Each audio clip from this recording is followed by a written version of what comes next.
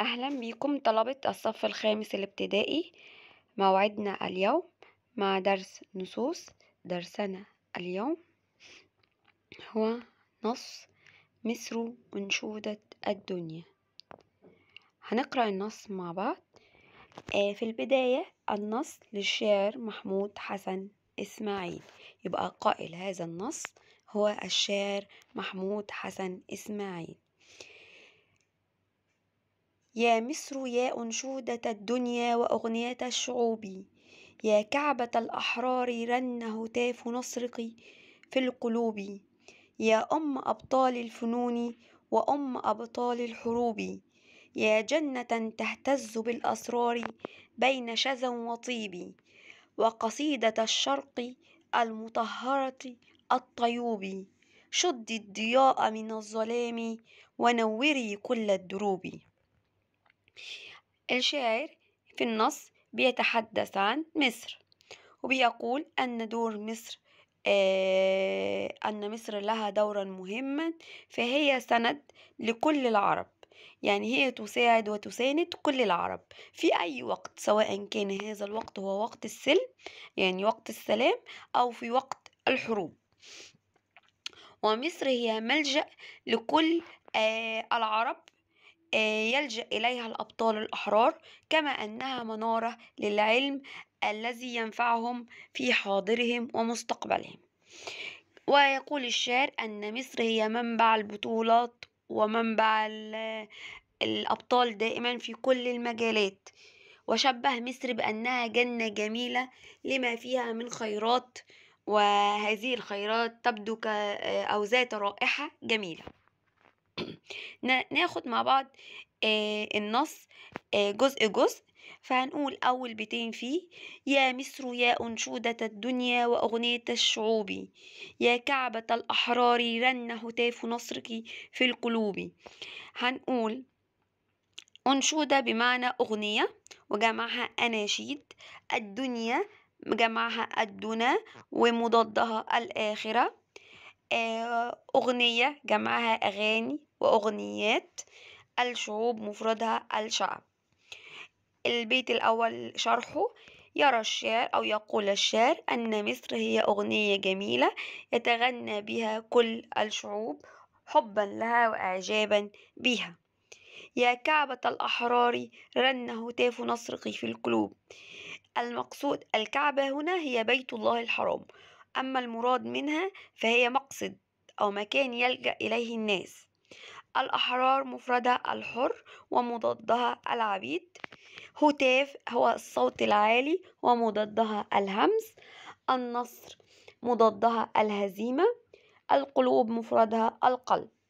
شرح البيت الثاني.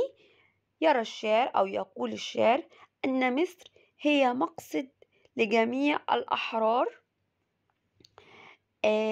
فكل الأحرار يلجؤون إلى مصر طلبا للحرية أو كل الناس تلجأ إلى مصر طلبا للحرية.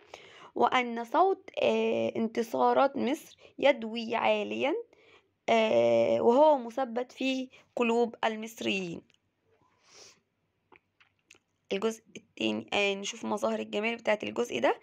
عندي في الجزء أساليب نداء زي يا مصر يا أنشودة يا كعبة يا أم أبطال يا جنة.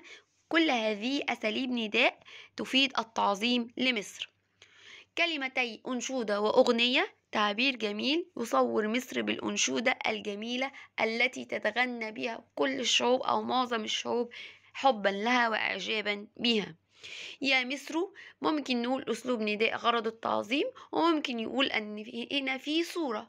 صورة الصورة الموجودة إيه؟ يصور مصر بإنسان يسمع ويلبي النداء. زي ما قلنا يا كعبة الأحرار إن هنا الشاعر قال يا كعبة أسلوب نداء غرضه التعظيم لمصر فهو قصده إن أو تعبير جميل يصور مصر بالكعبة وهذا يدل على عظمة مصر التي يقصدها الأحرار. رن هتاف نصرك تعبير جميل يصور النصر إنسان يهتف بصوت عالي. هذا يدل على انتصارات على أن انتصارات مصر إيه؟ عظيمة. تعالوا نشوف مع بعض الجزء الثاني من النص. يا أم أبطال الفنون وأم أبطال الحروب. يا جنة تهتز بالأسرار بين شذا وطيب. البيت الموجود قدامنا الأول هنقول مع المفردات بتاعته؟ جمع أم أمهات مفرد أبطال بطل مفرد الفنون الفن. نفس الكلام جمع أم أمهات مفرد أبطال بطل آه، مفرد الحروب الحرب ومضاد الحرب السلام. شرح البيت الأول الموجود قدامنا. آه، يرى الشعر أو يقول الشعر أن مصر هي أم تنتج الكثير من الأبطال في كل المجالات سواء مجالات الفنون وكذلك أبطال في مجال الحرب يضحون بنفسهم أو بأنفسهم من أجل إيه؟ مصر.